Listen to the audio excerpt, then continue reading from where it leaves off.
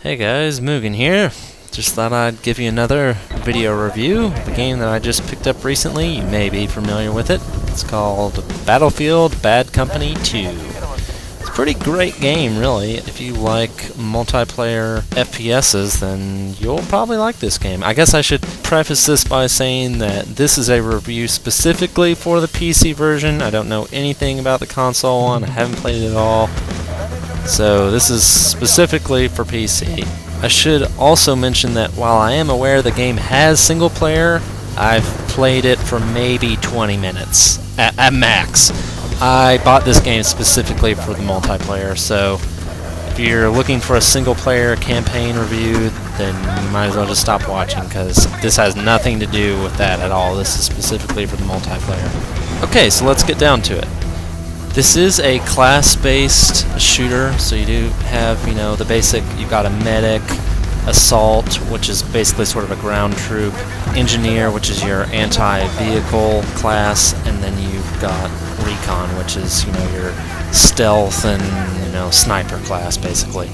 Because it is class-based, your loadouts are limited to what your class can use, which makes sense, and I don't know. I've heard some people say they don't like it because they're used to the, the you know modern warfare, uh, you know, use whatever you want kind of setup. And frankly, I honestly don't really like that setup. I actually prefer it this way because I like having a system where people have pre-designed uh, sort of roles.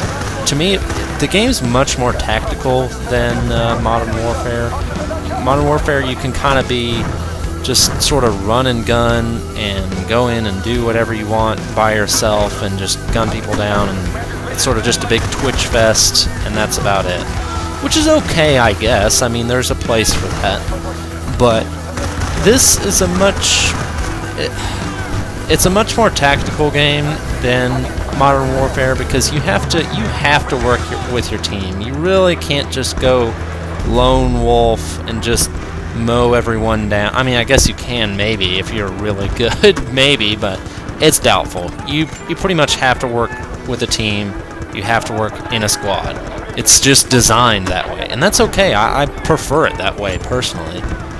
On that subject, though, I will say this is a game that you really should probably play with a couple of friends because, in my experience, most pubs they just they they don't talk at all. Nobody communicates in this game. No pub communicates in this game, and I don't understand why. It's such a tactical game. I don't know why you wouldn't. But it seems like nobody does. But if you got a couple friends that you can play with, it's super fun if you can just sort of coordinate with your friends what you're doing. Plus, just the way the system is built, it makes it really fun. The big thing in this game is squads and that's a group of four players that they work together. They can sort of coordinate their attacks. Members of a squad can designate sort of squad objectives, like if you want to attack a certain position or defend a certain position. And if you follow those squad directives, then you'll get additional points. Points let you level up faster, which means you get more equipment, which is always good. You can also, a feature that I really like in this game is you can spawn on any member of your squad.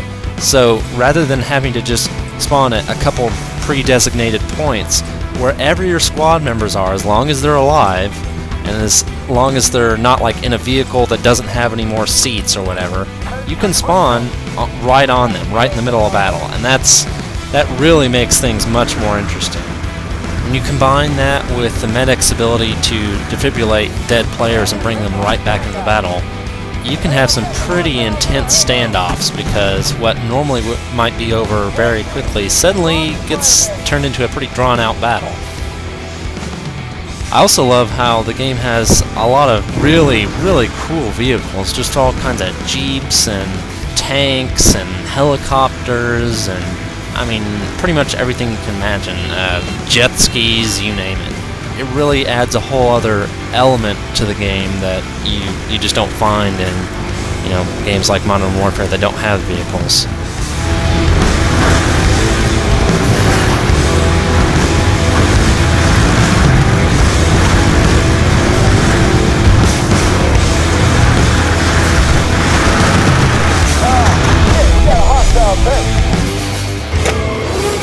Faster.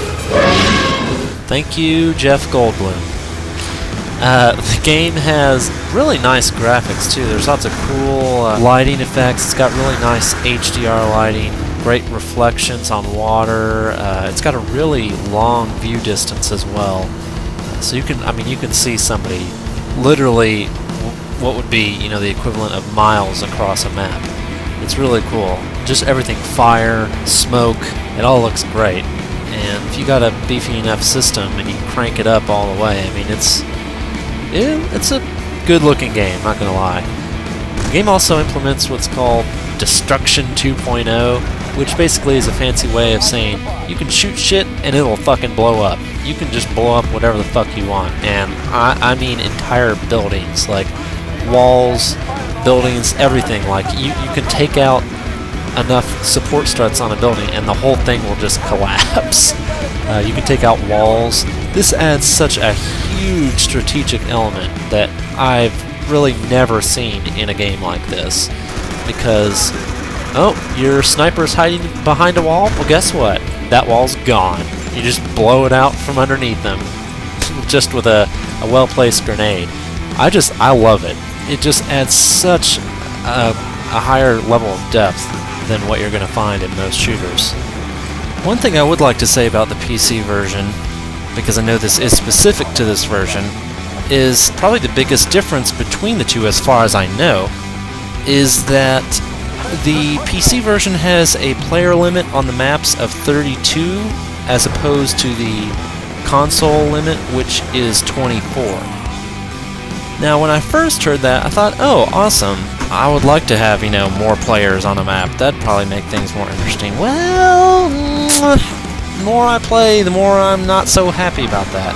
Here's the thing, uh, because the maps between the console and PC, are, they're the exact same maps, in my opinion, it seems like the maps are very much designed for those 24 people, and when you put 32 people on them, I've yet to have a match on a full 32 person server and it not just turn into one gigantic clusterfuck. There's just so many people packed onto a map that it's like you can't take two steps without running into someone, and you're just dying and respawning constantly. It's so it's so annoying. I I've never had fun on one of those servers ever. And now you might think, okay, well, maybe that's true, but no big deal, right? I mean, you don't have to play on a 32-person server. Well, that's true. The thing is, it seems to be the common thought process that, well, since you can have 32 people on our PC version, well, we should all just have 32 person servers.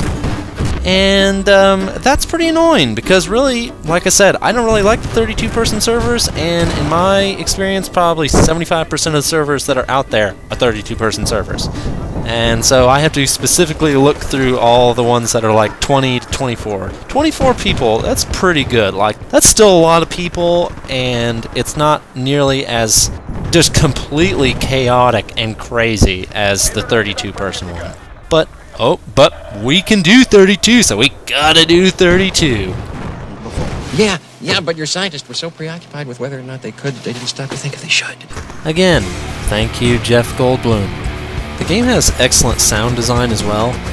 You know, it's not often that while I'm playing a game, I take a moment and actually say to myself, wow, you know what, this game sounds fantastic. I mean, sometimes I do. I think of games like Dead Space whenever I'm thinking about good sound design, but it's not very often that, you know, I actually think to myself, wow, this game sounds fantastic. But this this game is one of them. Just all the explosions. When you're in the middle of a really intense battle, you just got, you know, bullets flying by, you got choppers flying by. And you hear that the freaking minigun from a chopper. That is just like the most terrifying sound ever. You're just sitting there waiting, maybe capping a flag or something, and then all of a sudden you just hear and you're just like, oh, fuck me. The uh, shell shock silence effect is used to great effect in this game as well. I, normally, I'm not a huge fan of that because I think it's kind of cliche, but I don't know. I, I, I'm not sure how to describe it, but it's just done very well in this game. It makes things a lot more intense. The voice work is pretty good as well. None of it sounds really too hammy or anything. Even the Russian dialogue sounds good. It's interesting to hear that. Except for one line that I swear to God he's saying spaghetti. I don't know what he's saying, but that's what I'm hearing. All in all, I found this to be a thoroughly enjoyable game. I've had a great time so far, and anyone who's looking for a really fun, tactical, multiplayer FPS, I would highly recommend this to you. Just be prepared for a slightly higher learning curve than what you might normally find on this type of game. It does take some practice and it will start slow. Uh, you start out with shitty equipment, so your leveling will be slow at first, but as you get into the groove of things, it'll go faster and faster. And once you get into that sort of zone, I think you'll really have a good time.